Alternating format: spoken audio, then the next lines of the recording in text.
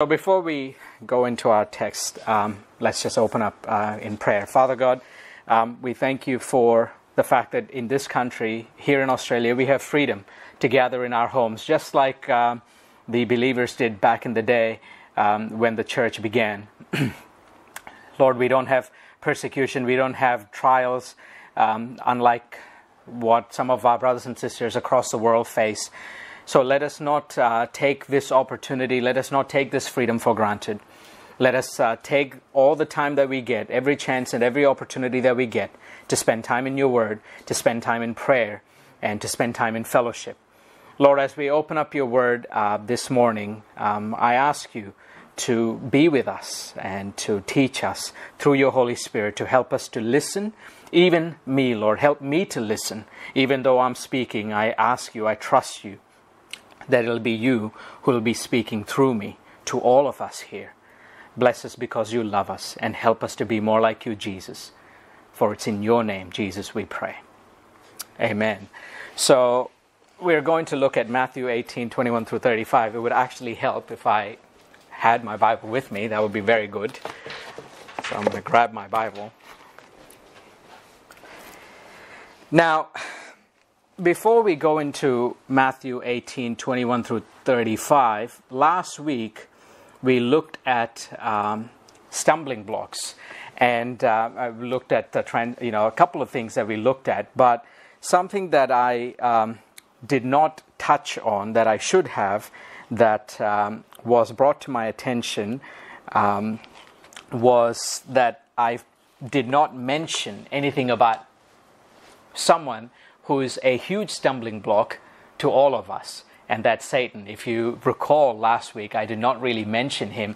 It was not necessarily a slip of mind, although to some extent it was.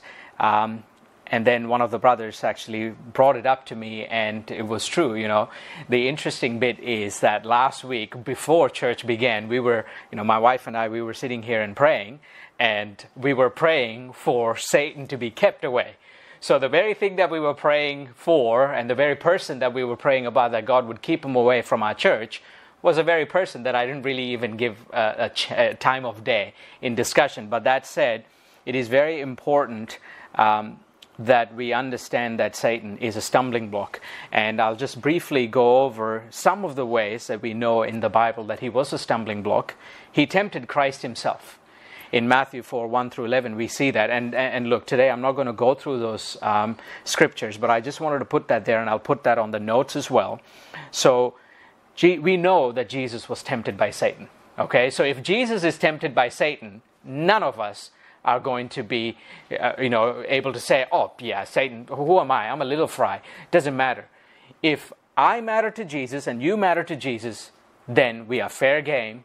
We are fair target for Satan. Ananias and Sapphira, we know in Acts in the early church, was overcome by temptation. And Satan was, in fact, it was Peter who said, Why did you let Satan tempt you? Okay, so we know what happened to Ananias and Sapphira. They held back money that was theirs to begin with and lied to the Holy Spirit. Not to the apostles, but to the Holy Spirit. And for that, they paid a very dear price. Both of them lost their lives.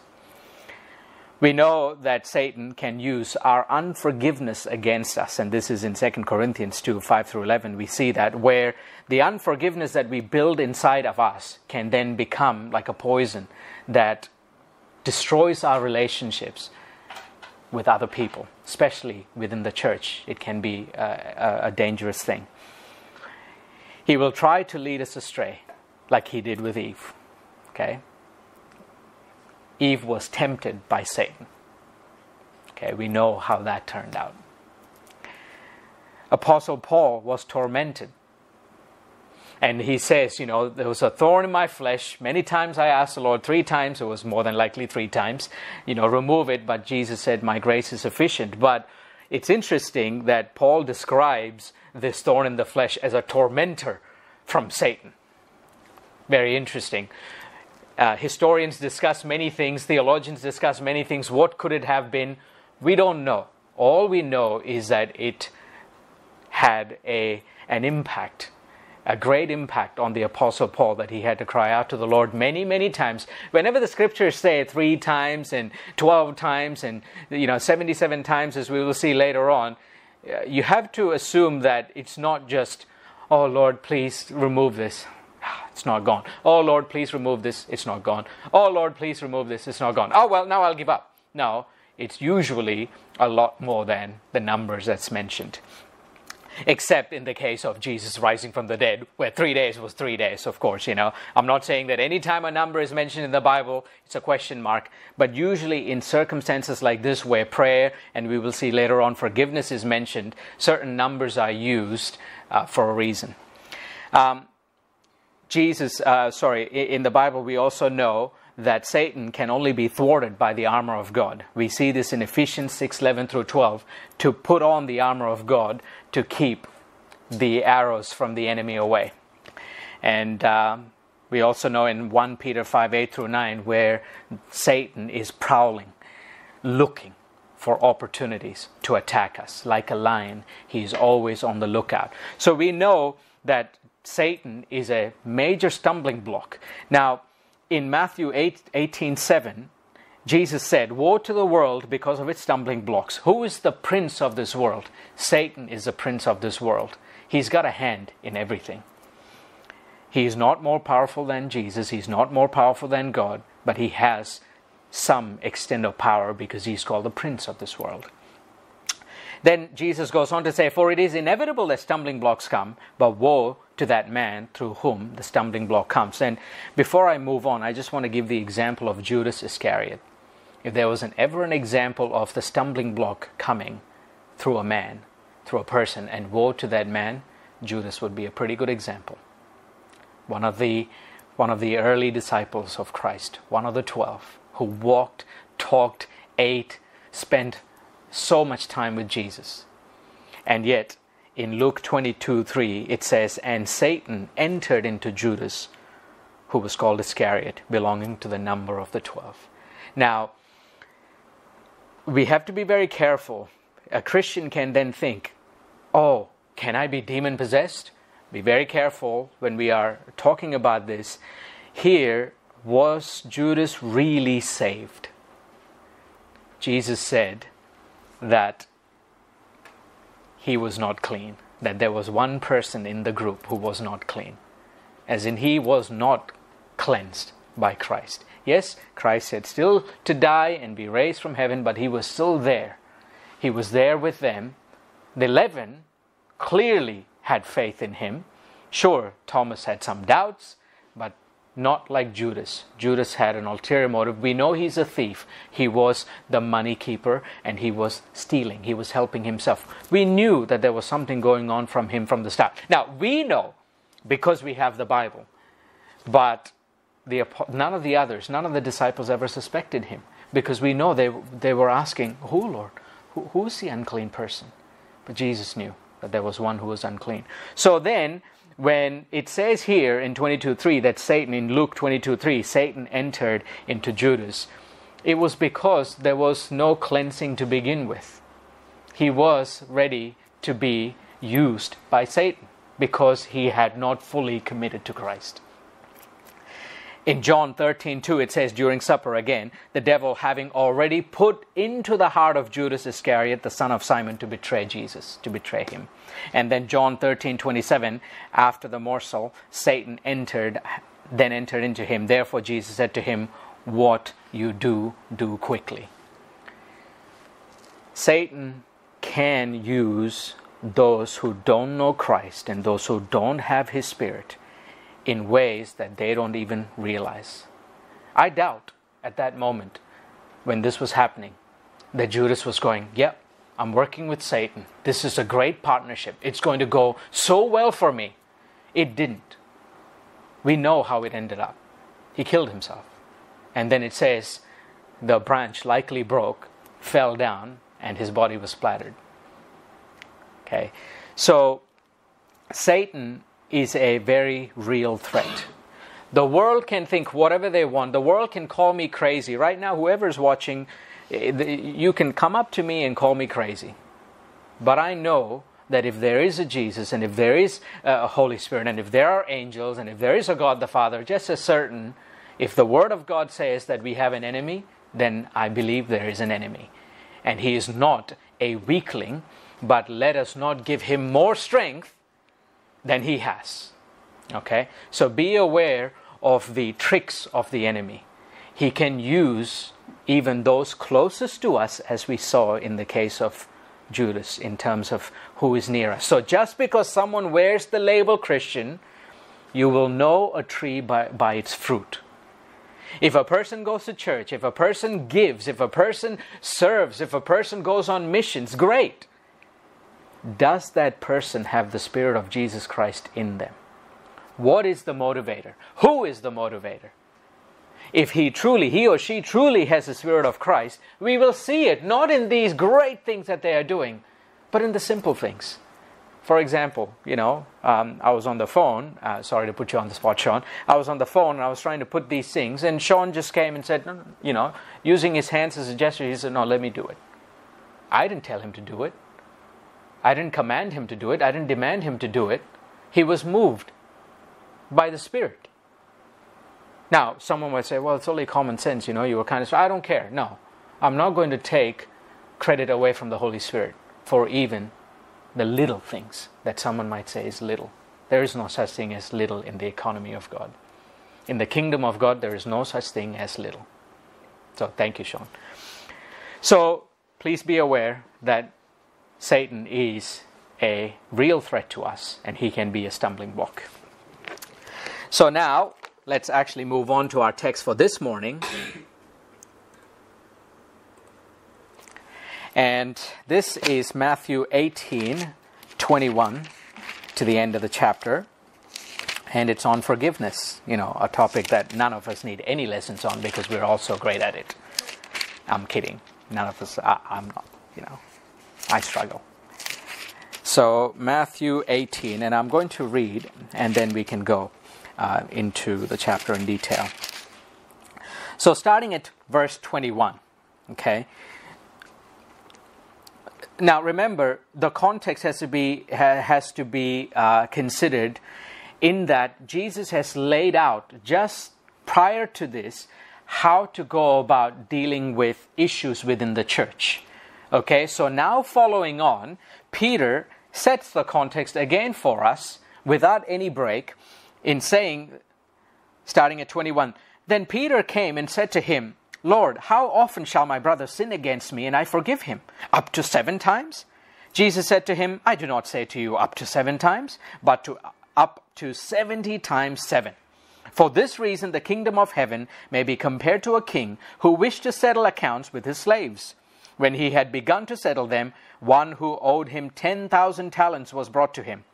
But since he did not have the means to repay, his Lord commanded him to be sold, along with his wife and children and all that he had, and repayment to be made. So the slave fell to the ground and prostrated himself before him, saying, Have patience with me, and I will repay you everything. And the Lord of the slave felt compassion and released him and forgave him the debt. But that slave went out and found one of his fellow slaves who owed him a hundred denarii. And he seized him and began to choke him, saying, Pay back what you owe. So this fellow slave fell to the ground and began to plead with him, saying, Have patience with me, and I will repay you. But he was unwilling, and went and threw him in prison until he should pay back what was owed. So when his fellow slaves saw what had happened, they were deeply grieved, and came and reported to their Lord all that had happened. Then summoning him, his Lord said to him, You wicked slave, I forgave you all that debt, because you pleaded with me. Should you not also have had mercy on your fellow slave in the same way that I had mercy on you?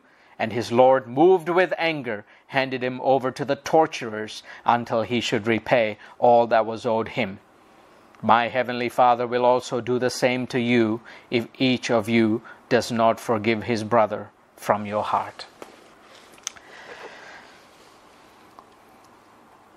So Peter starts off by coming to Christ saying, Lord, how often should I forgive my brother? So we know that he, we are talking about Christians here. Now, it's interesting that Peter uses seven times when the rabbis at the time in the first century said three times. Now, I had to look this up. Where did they get the, you know, the seven times? Why the seven? And then when I researched, why the three? And so it turns out that in Amos 1 3 and 2 1, it says, Thus says the Lord, for three transgressions of Damascus, and for four I will not revoke its punishment, because they threshed Gilead with implements of sharp iron.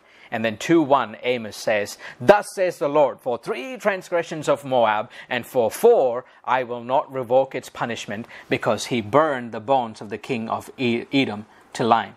So, the rabbis' justification is if God doesn't forgive any more than three times, why should anyone else forgive any more than three times? So that's why they taught three. Now, where did Peter get the seven from? No, for Peter, it was just a higher number. Peter came with a higher number because he knew what the rabbis taught. So essentially, he was going, Should I forgive seven times? Because, you know, everyone knows three times, but look at me, I'm Peter. Should I forgive seven times? There is no no mention of seven anywhere else as far as forgiveness is concerned. So, where did he get the number from? Why did he pick that number? It could have been any number, for that matter, above three. So, Peter was going, How often should I forgive? Now, hold on a second, uh, Peter. What about you sinning against other people? How often should they forgive you? Notice he said, How often should I forgive? He didn't say, How often should brothers forgive each other? How often should we, as your followers, forgive each other? He made it very personal. So there's a bit of pride and self righteousness happening here. And let me explain. Matthew 6 1 says, Beware of practicing your righteousness before men to be noticed by them, otherwise, you have no reward with your Father who is in heaven.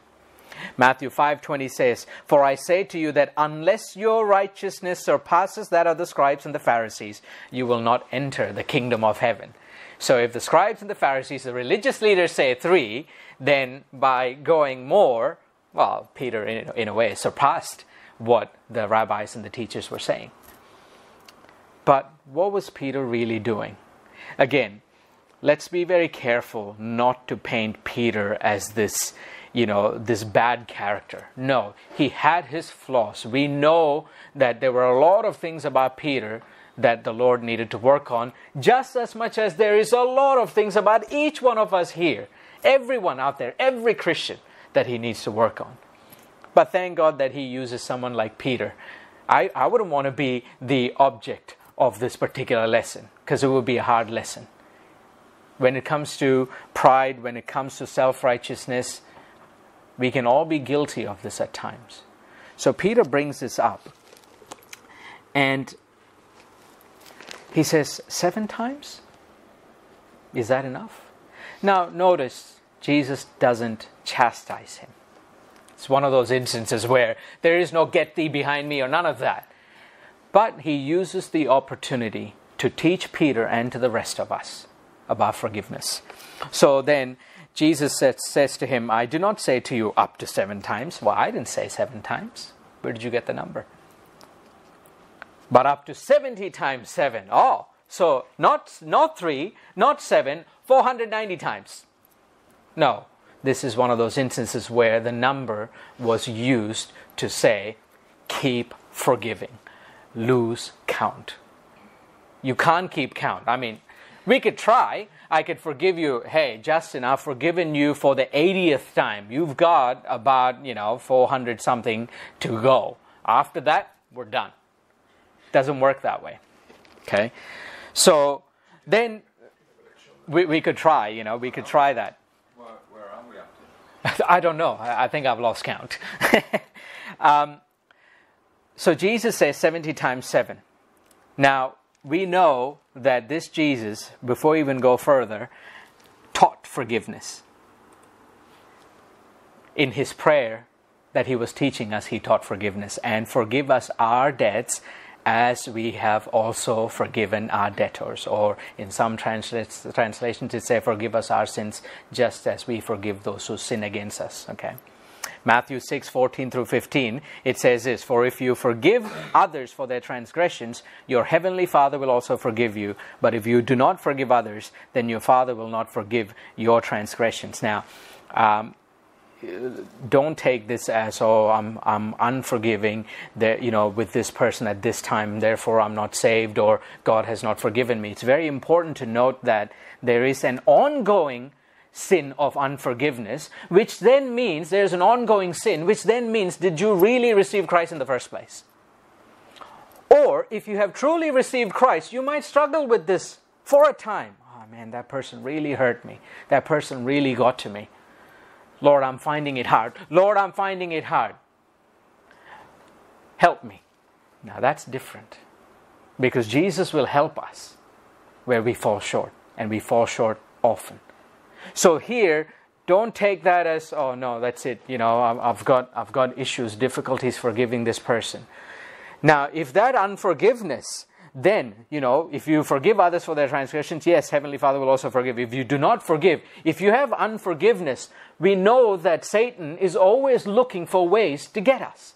How much more can he, can he do to us when our unforgiveness is visible to all, known to all? Including the enemy. So be very careful with unforgiveness. So Jesus taught us about um, forgiveness. He forgave his killers.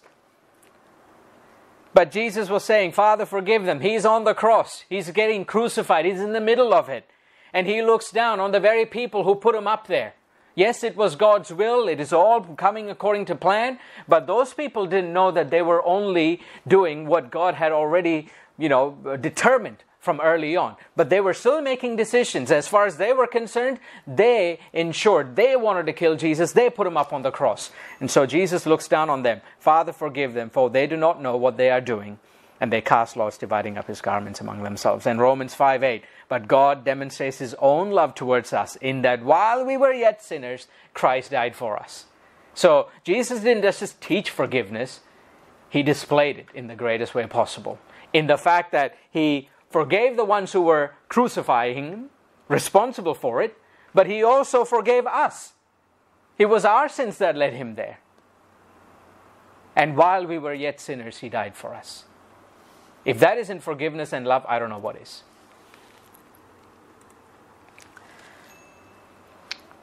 Love forgives. 1 Corinthians 13:5 says, Love does not act unbecomingly, it does not seek its own, is not provoked, does not take into account a wrong suffered. Love forgives. When someone hurts us, when someone, a brother or a sister especially, hurts us, if we hold grudges, if we keep tally, is the love of Christ really in us? Because that love, His love, does not hold anything in the back of our mind. Oh, I'll forget, but I can't forgive. A Christian should not truly utter those words. A Christian cannot. Will they struggle? Perhaps. But a real Christian cannot live the rest of their lives with unforgiveness towards a brother or sister.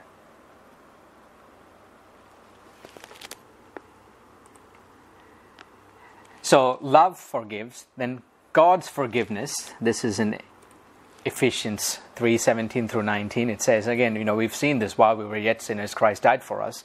But Ephesians 3 17 through 19 says, So that Christ may dwell in your heart through faith and that you, being rooted and grounded in love, this love, Christ's love, may be able to comprehend with all the saints what is the breadth and the length and the height and the depth, to know the love of Christ which surpasses knowledge, that you may be filled up to all the fullness of God. You cannot tell me that if we have Jesus Christ, His Spirit in us, we can be unforgiving, amongst many other things. We can't be, it simply cannot be. So then, how much does the Lord need to work in us if any one of us here is struggling with unforgiveness? How much more do we need to hold on to the Lord and say, I need help. I need you. Work in me. Change me. Fix me as only you can. He's the only one who can do this. Now, Christian forgiveness isn't blind or shallow. Let me explain. Philippians 1 9 through 10. And this I pray that your love may abound still more and more in real knowledge and all discernment. Great, makes sense. So that you may approve the things that are excellent in order to be sincere and blameless until the day of Christ. If I blanket go around forgiving, doesn't matter what you did, doesn't matter who you hurt. Oh, I am a Christian. Bible says forgive, forgive you. No, no. Let us not be foolish in the way we forgive others. In that, approve the things that are excellent. If it isn't, let's go back to what Jesus was teaching us earlier. If there are problems, approach the person. Not, oh, I forgive you, we don't need to talk, it's all good. No if there's sin in someone's life, if they have sinned against you, if there's sin in someone's life, and you as a brother, the Holy Spirit is imprinting on you saying, Go speak to that person. Whether that person sinned against you or you have observed this, go to that person in private and say, Brother, sister, this, this isn't what the Lord wants of us. This isn't what the Lord wants of you. It isn't right. Again, who prompted you to do that and why are you doing it? There are people who say, Well, the Lord said to me, and you know there's multiple daggers on the way. There is. People do that. Oh, well, brother, the Lord said to me to basically tear you from limb to limb. You know, because the Lord said it is okay. No, it's not. When the Lord says, when chastising comes from the Lord through a person, it will sting, it'll hurt, but it is not to tear the person asunder. It is not so that the Spirit can work in that person and be restored. Remember to win our brother or sister back to Christ. That is the process. So, approve the things that are excellent. And if it isn't, and if the Lord leads you or someone else, it doesn't matter, go to that person and follow the procedure, follow the process that the Lord Jesus has given us, so that in the end the brother may or sister may be saved and restored into relationship with Christ and into the fellowship of the church.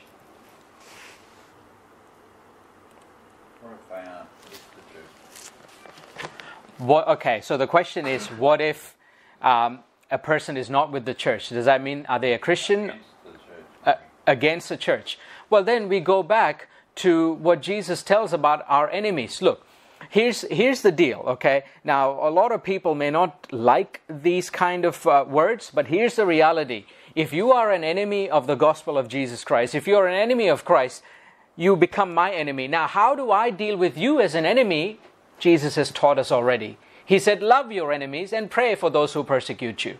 So if your enemy is doing this that and the other us retaliating isn't the way to love our enemies. Doesn't mean that you lie on the floor so everyone can walk all over you. That's not love either. Okay?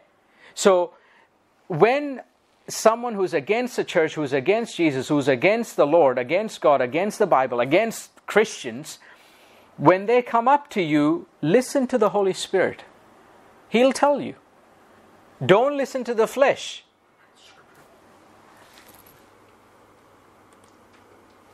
I think the key words there is real knowledge and discernment. God's given us knowledge, the ability in our mind, and the ability to discern through the Holy Spirit to be able to read those things, whether it be within the church or outside the church. Correct. The same rules apply. So He gives us that ability to be able to discern those things and use that intuition that God's given us. Right?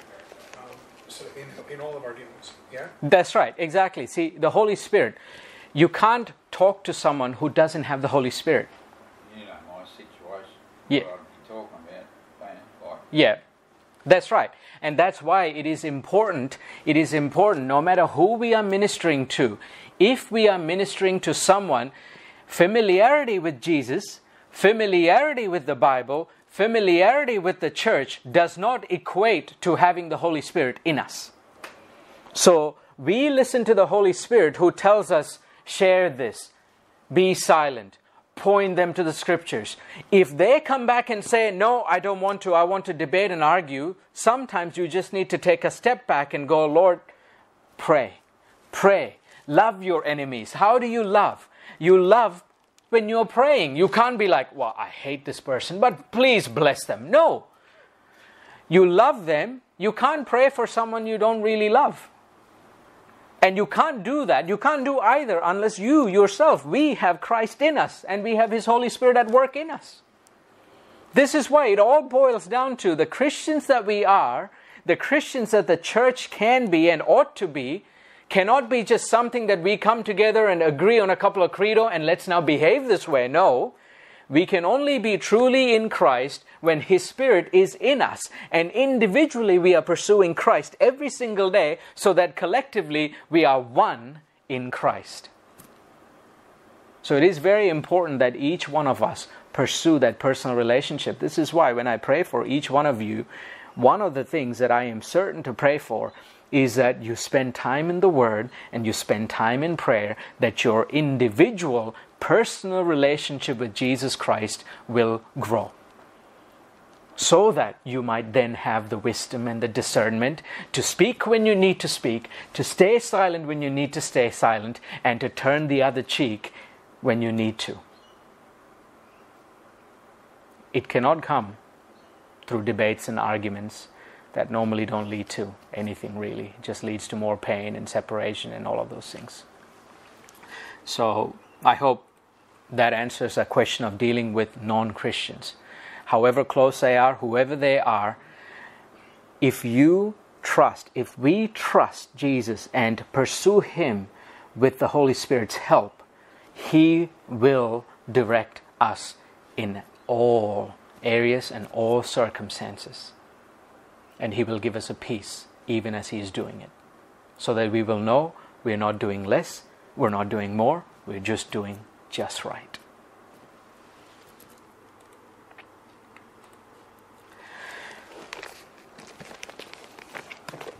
So, Jesus then goes into the example that he gives. For this reason, the kingdom of heaven may be compared to a king who wished to settle accounts with his slave. So he's now taken Peter's question and he's now about to teach us all how much and how God's forgiveness operates within the church, within Christians, and how we can then use that in our own lives in terms of how we recognize how much God has forgiven us, and for that reason, how much we ought to be forgiving towards others. So, obviously, the king here is God the Father. Okay? And the slaves is Christians. Now, someone might go, Well, I thought I was a child of God. You know, how can I be a slave? Well, let's uh, look at a couple of scriptures just to, you know, clarify. 1 Corinthians 6 19 through 20. Or do you not know that your body is a temple of the Holy Spirit who is in you, whom you have from God, and that you are not your own? For you have been bought with a price the precious blood of Jesus Christ, his life. He paid the price. Therefore, glorify God in your body. And 1 Corinthians 7:23, you were bought with a price. Do not become slaves of men, instead become slaves of God. You know what? I'd much rather be a slave of God than be a slave to sin, be slave to people, be slave to this world, be slave to anything, anything, and anyone this world has to offer. I, I know that I will be treated beyond my comprehension, beyond my understanding if I am a slave of God. And I don't mind being a slave of God.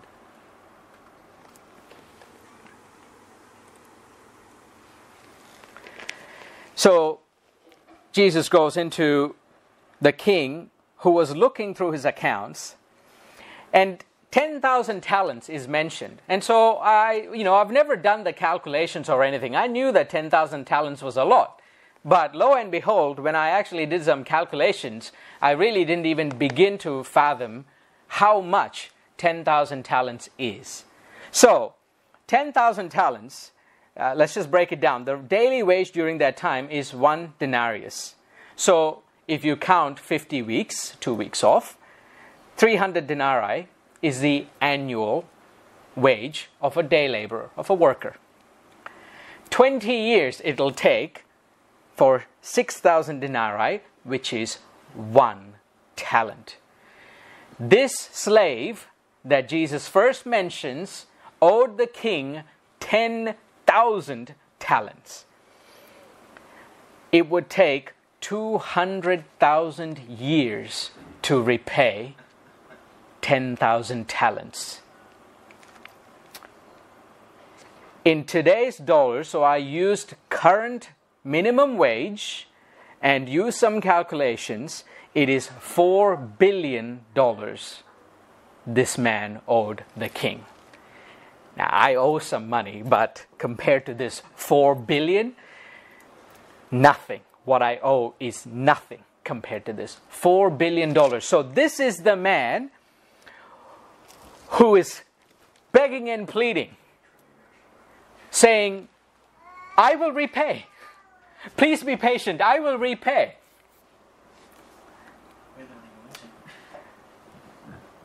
Could he repay?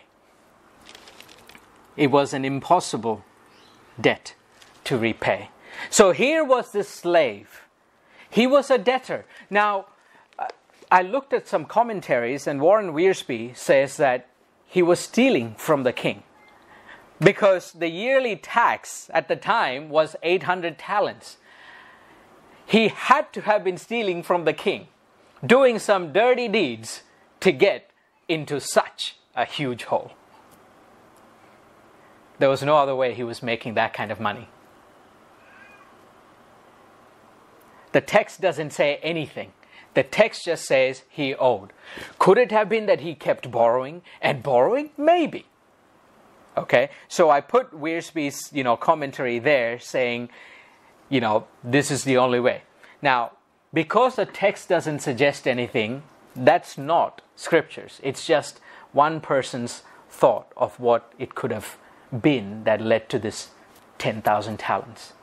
But whatever it was, the reality was the king was taking into account and he knew that one slave owed him 10,000 talents. So he was a debtor. This slave was a debtor. Look at his pride. I can repay. Don't worry, I can repay. Surely. He knew what he was talking about. And yet, in his pride, he was still going, I can repay, instead of saying, Oh no, I got caught, I am so sorry. He did say, Oh, please have patience with me, I will repay. Where was the repentance? Where was forgive me? Forgive me for doing XYZ as the wrong in making this money or owing this huge debt. There was none. He was unrepentant. He got caught, but he wasn't sorry. He was sorry he got caught. It shows the attitude of the person, the heart of the person. And we will see further that the king, with compassion beyond our comprehension, if someone owed you $4 billion, I would struggle a little to completely erase. And I'm being brutally honest here. Forget 4 billion. Forget 400 million. Forget 40 million. Forget 4 million. Forget 400,000. 40,000 would be great in the bank account right now. And I'm being brutally honest here. But such is the extent of God, our King's forgiveness and compassion, that He completely wipes the debt. Not only was the slave in danger, his family was in danger too. They were all going to be thrown in prison, as was the custom of the time. So the king wasn't being overly cruel or anything, he was just following the law, the way things are, the established practice. But the king erases the debt. You're free to go. He was moved with compassion. But then this slave was also a creditor. As soon as he is set free, the burden of debt, the burden of jail time, the burden and the sorrow of losing family, all gone, all erased. I'm a free man. I've been set free. no sooner does this happen that he finds a fellow slave who owes him a hundred denarii, which is four months' wages roughly. The same exact words from this slave, a fellow slave. No hierarchy of slaves here, they're all the same. The fellow slave uses his exact words Have patience, I will repay. You see, when that slave said that, have patience, I will repay. He was telling the truth. He was saying, hey, I can work it off. Give me time. Have patience. This is possible. But the creditor was selfish. He wanted what was owed. Remember, his slate is clean. He's not negative 4 billion now. He's not negative 10,000. Now he's at zero. He can start building up again. So every bit counts. 100 denarii is still four months' wages. Imagine all that he could do with four months' wages if this slave, fellow slave, repaid. He was only thinking about himself. And he was unforgiving. The degree, the extent, the magnitude of forgiveness that was shown to this, this slave by the king is unfathomable to many of us, to all of us. And yet, he could not forgive his fellow slave. He was not rejoicing. He was not going around jumping up and down and saying, I've been set free. I've been set free. I set you free. Forget the hundred. No. Instead, he put the man in prison until he would repay a hundred denarii. Fellow slaves who saw this mistreatment brought it to the king's attention. Then summoning him, his lord said to him in Matthew 18:32, "You wicked slave, I forgave you all that debt because you pleaded with me. Should you not also have had mercy on your fellow slave in the same way that I had mercy on you?" And his Lord, moved with anger, handed him over to the torturers until he should repay all that was owed him. My heavenly Father will also do the same to you if each of you does not forgive his brother from your heart. He became a prisoner. Physically, he became a prisoner. He was thrown physically into prison. But he also became spiritually a prisoner because he was unforgiving. He had no mercy there was no change in his heart. What a terrible place to be that you would physically be locked away, but be spiritually locked away as well. You have no freedom whatsoever, bound physically and spiritually. What a terrible place to live in. But that was what happened to him in the end. So, What's the lesson here? Right at the end, my heavenly Father will also do the same to you if each of you does not forgive his brother from your heart. We know Jesus gave us a procedure for handling a sinning brother or sister. Whether it is to us or to the church, doesn't matter. We saw the process. We saw that the process was detailed. We saw that the process was clear. We saw that God was wanting to work in the process. One person, two people, to the church. Then leave him. Let him be treated as a tax collector. We also know that Paul, in another instance in one of the churches, said, I have handed him over to Satan so that he may be saved in the end. He didn't say, handed him over to Satan so he can go to hell. No, that's not what Paul was talking about, and neither is that that's not what Jesus is talking about here. Notice, he says, the tortures until he should repay all that was owed. See, now it wasn't just about the money. In this particular uh, you know example that Jesus gives, perhaps the king, the earthly king, who is getting you know. Um, uh, well, who's trying to do justice, may be talking about money, but going back to what Jesus is talking about, the same thing that Paul was talking about is what's happening here. God the Father will allow certain things to happen to us. If we are unforgiving. A good father chastises his children, doesn't send them to hell, but corrects them, but does things to them that is unpleasant to say the least. Torturers, it said. He didn't say send him to Disneyland, he said torturers. My heavenly Father will also do the same to you if each of you does not forgive his brother from your heart. How great is God's forgiveness to us that we are unwilling to forgive others? Are we forgiving of other Christians? God has forgiven us. Are we forgiving of other Christians? Ephesians 4:32 Be kind to one another, tender-hearted, forgiving each other just as God in Christ also has forgiven you. Colossians 3 12 through 13.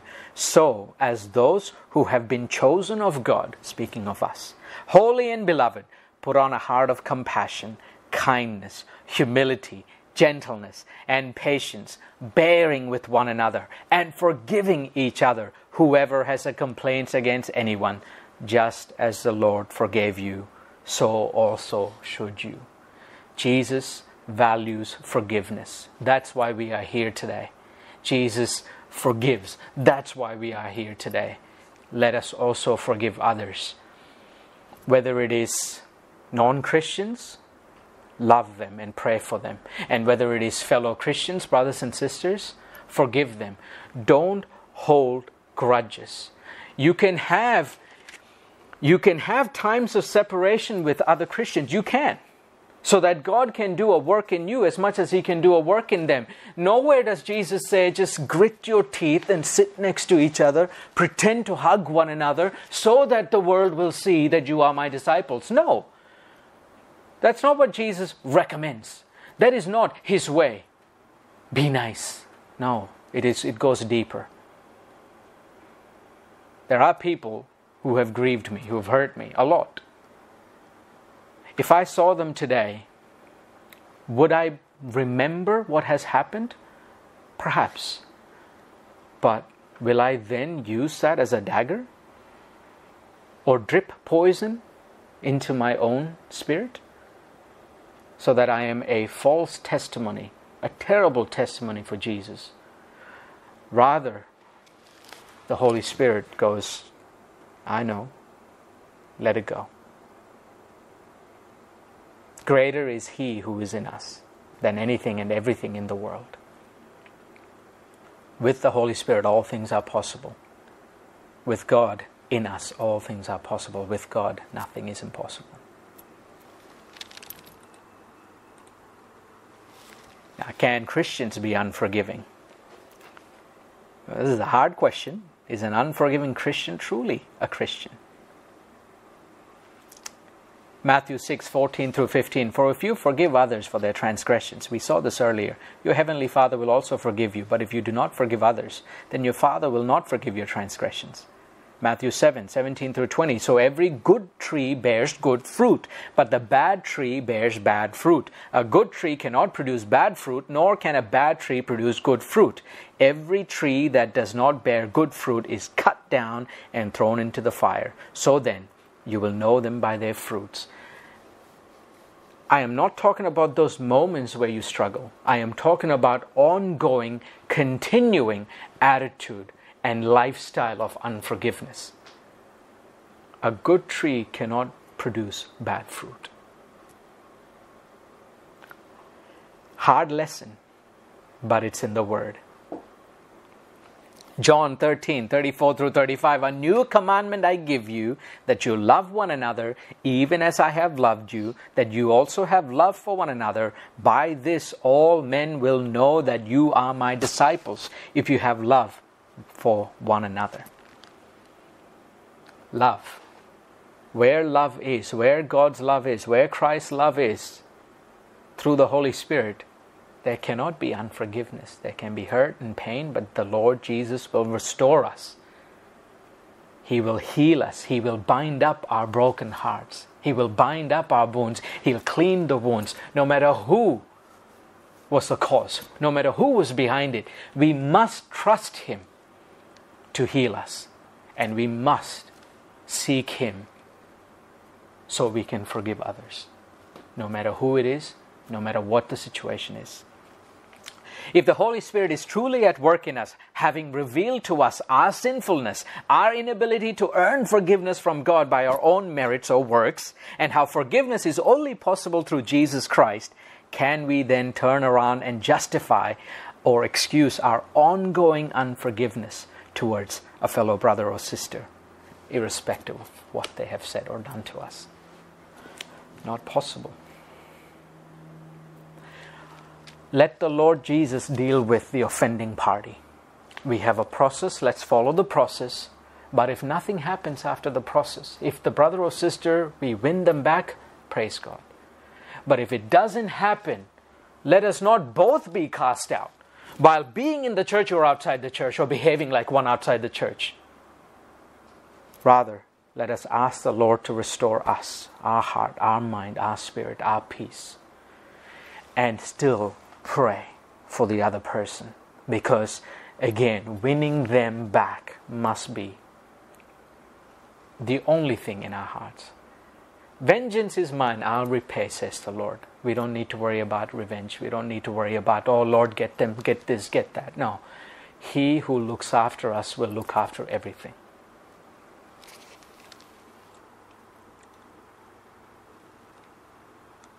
The answer really is if you're truly in Christ, though you may struggle for a, for a time, the Spirit of Christ, through His working in you and through you, will bring you over the threshold of forgiveness.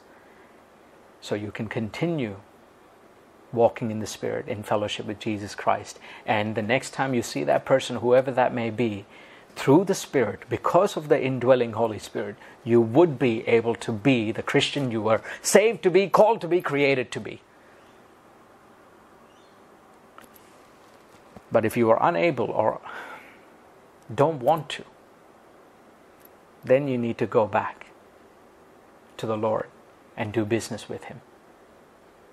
A good tree bears good fruit. Jesus said, Apart from Him, you can do nothing. And if unforgiveness is impossible for someone who claims to be a Christian, is Christ truly in them? And are they truly abiding in Christ? It's a hard question. Anyone can raise any kind of argument they want. Oh, it doesn't feel right. You know, who are we to judge? No, I'm purely going by the Word of God. The Word of God says this my feelings are irrelevant. My feelings does not, cannot, will not overthrow the word of God.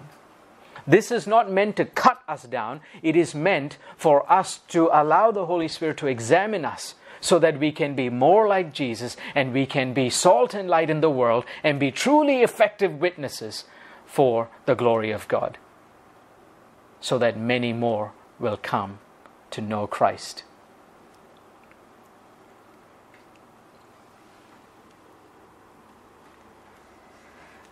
We don't love based on our own understanding or strength, but we are able to love others because of the love of Christ that is at work in us and through us, thanks to the indwelling of the Holy Spirit.